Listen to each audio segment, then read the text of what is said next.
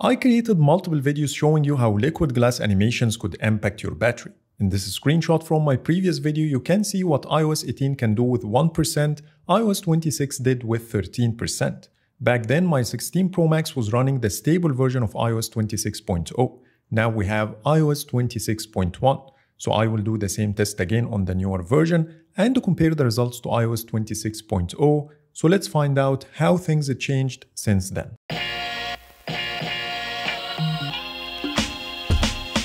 If you are new here, let me give you a quick summary about this test or feel free to skip to the next chapter if you did watch the previous videos. The test includes four scenarios that all iPhone users have to do on daily basis, plus they heavily rely on the new liquid glass animations which are checking the notification center, open and close apps, scrolling in first-party apps, which is Apple Photos in this test, and finally unlocking the phone. I will do each task 150 times by hand to make sure it mimics actual usage.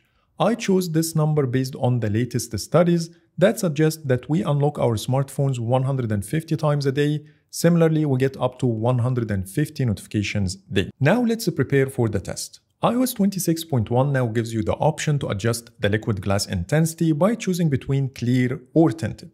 I am curious to test both, so on the left I'm using the clear option, in the center it's set to tinted, which is more like iOS 18, and on the right is the old footage when my 16 Pro Max was running iOS 26.0.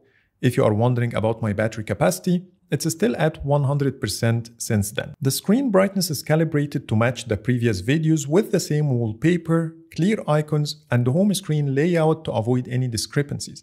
And the starting battery is 80%.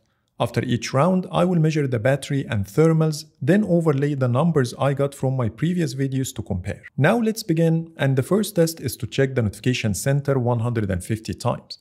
Apple tweaked Liquid Glass many times since the official release of iOS 26.0. I personally started to notice less battery usage and better thermals with 26.1. So after trying this for 150 times back to back on both versions, here is what I found. Starting with the thermals, iOS 26.0 reached 40.8 degrees Celsius while 26.1 was at 34.9 and 36.9 using the clear and tinted options respectively. That's a massive difference between the two.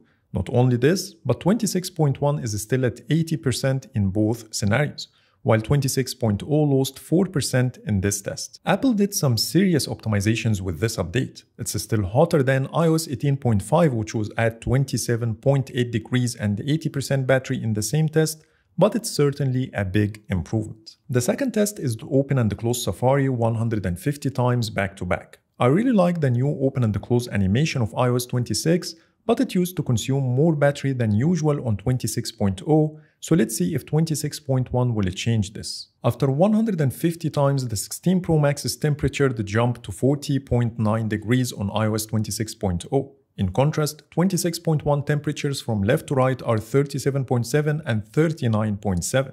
It's certainly better in thermals, but all consumed the same 2% in this test, while iOS 18 back then was at 21.8 degrees and 80% battery at this stage.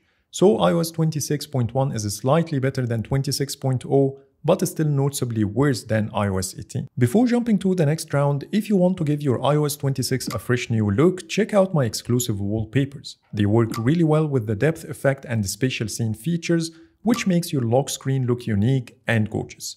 These wallpapers are available for download through my Patreon's page. You can find the download link in the description. And now let's get back to the video. The third test is to do some scrolling in Apple Photos, which is one of the best examples of Apple's liquid glass in first-party apps. I will do 150 scrolls. A pair of up and down swipe will be counted as one scroll.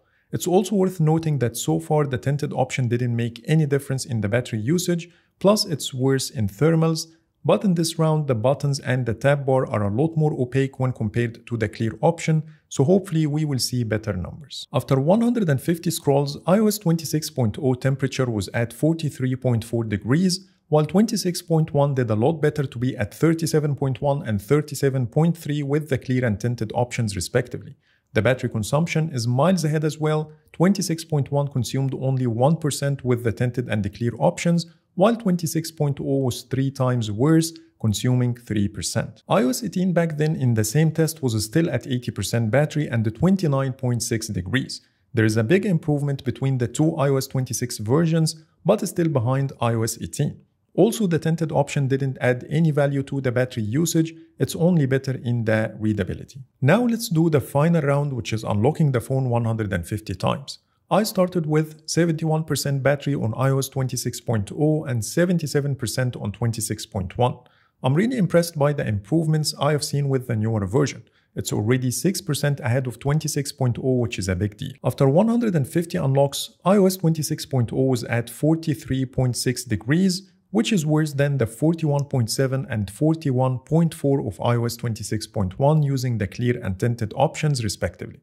But in battery usage, all lost the same 4% iOS 18 at this stage was at 79% battery and 30.6 degrees in my previous videos. And now let's sum up the numbers. Revealing the notification center 150 times, iOS 26.0 consumed 4% battery and raised the 16 Pro Max's temperature to 40.8 degrees Celsius, while 26.1 remained at the same 80% with a temperature of 34.9 using the clear option and 36.9 with the tinted. Opening and the closing Safari 150 times consumed 2% battery in all scenarios and the temperature was at 40.9 degrees on iOS 26.0 while 26.1 reached 37.7 and 39.7 with the clear and tinted options respectively. In the third test, which includes 150 scrolls in Apple Photos, iOS 26.0 consumed 3% battery and reached a temperature of 43.4 degrees while 26.1 reached 37.1 and 37.3 with only 1% battery usage. Lastly, in the 150 unlocks comparison, all versions lost the same 4% battery with a slight difference in the temperatures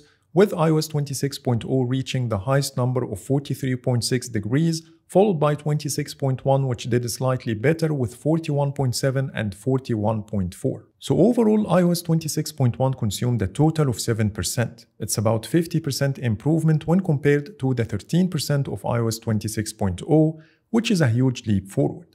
But let's not forget that iOS 18 did the same exact test with 1% at a much lower temperature. I hope to see further improvements with future updates, and I will keep you posted if I spotted any improvements. Some of you also requested to do the same test with the reduced transparency option enabled. Please drop me a comment and hit the like button to let me know if I should make this comparison. But for now, thanks so much for watching and see you in the next video.